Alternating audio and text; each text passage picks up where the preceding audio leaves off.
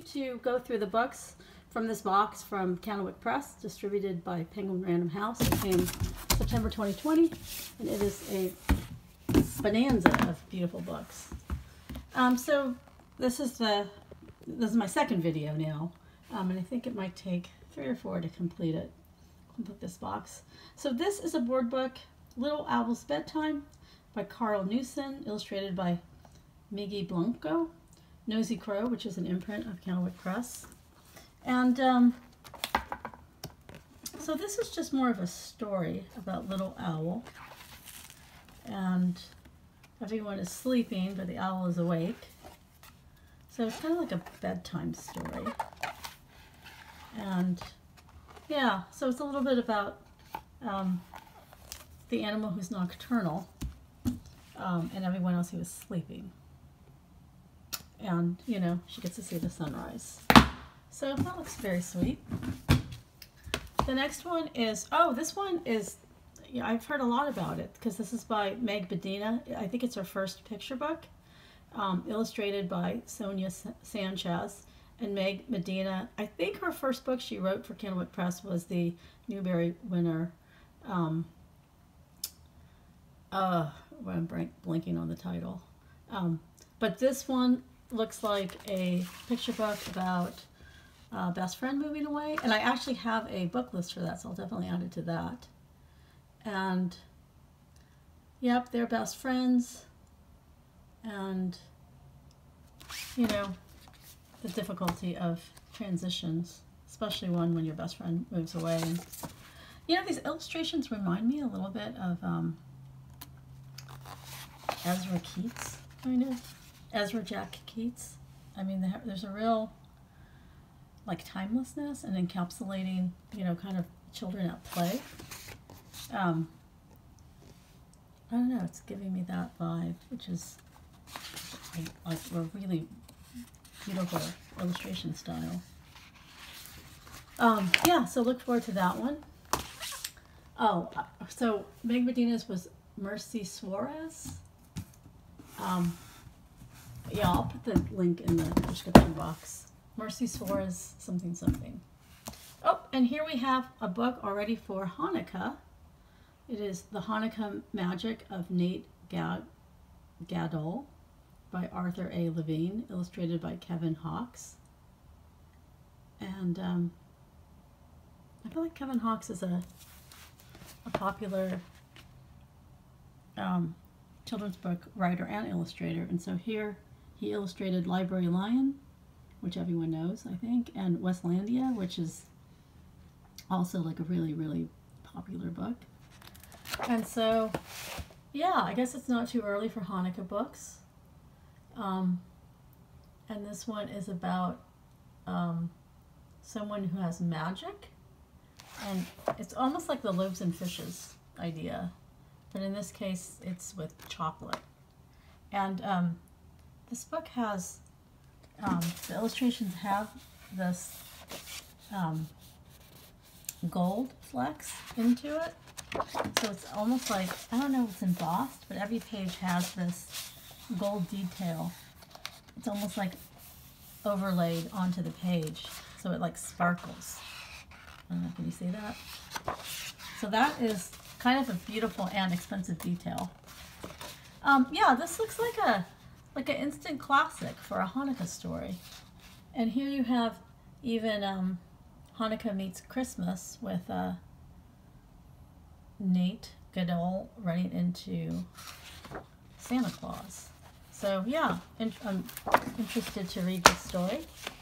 Looks great. Um, the next one is a sequel to Not Norman, a goldfish story. So this is Norman, One Amazing Goldfish by Kelly Bennett, illustrated by Noah Z. Jones. And um, like Not Norman, I feel like that was also a book that got just a lot of um, people reading. So Norman is a amazing goldfish. And um,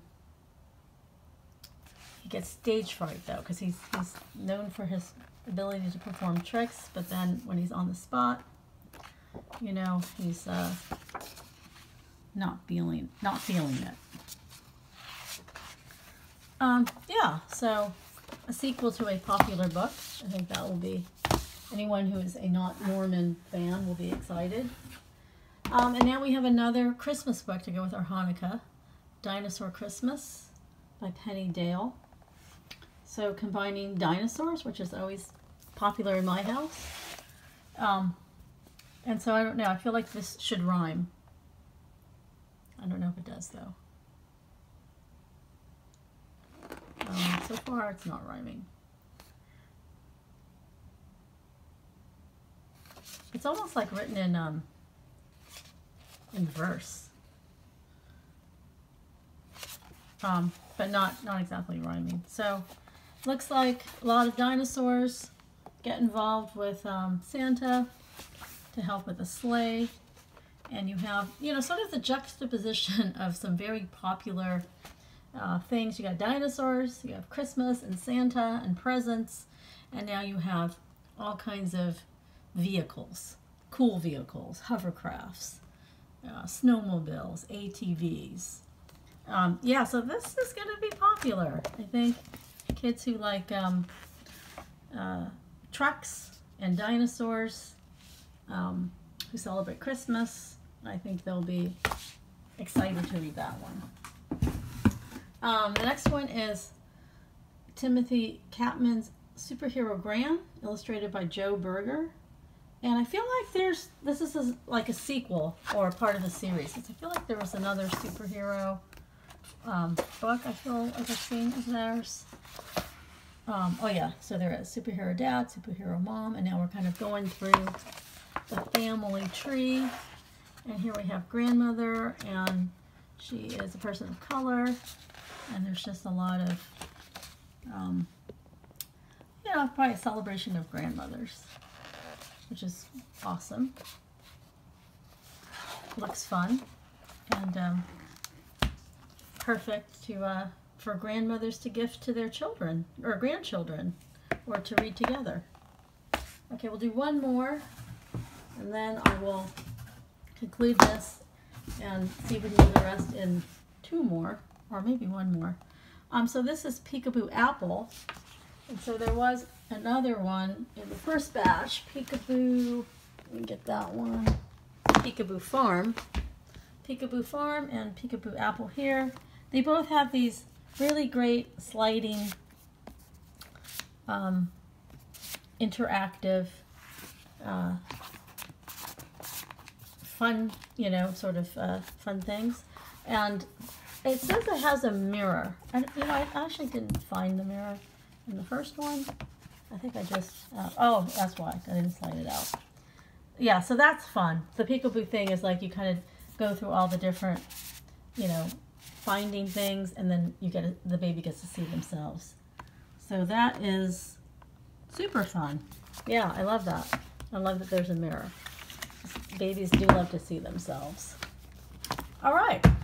So again, thank you to Candlewick Press um, and Nosy Crow for all these books, and to Penguin Random House for sending them to me. Thank you all for watching, and um, yeah, we'll do one or two more and we'll finish this box.